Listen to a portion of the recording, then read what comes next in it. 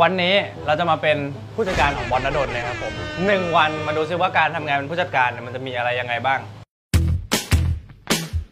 การเป็นผู้จัดการดาราที่ดีนะครับ เราจะต้องแบบ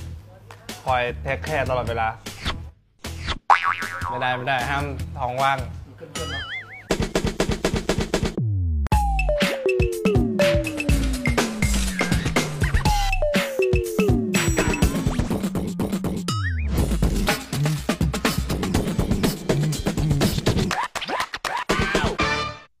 หนักอะเบาหนักว่ะ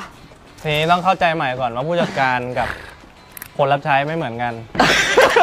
ผมไม่ได้จัดการงานให้คุณเอคุณอต้องดูแลตัวเองในเบื้องต้นด้วย เข้าใจหรือเปล่าจิตใจทราบแล้วเปลี่ยน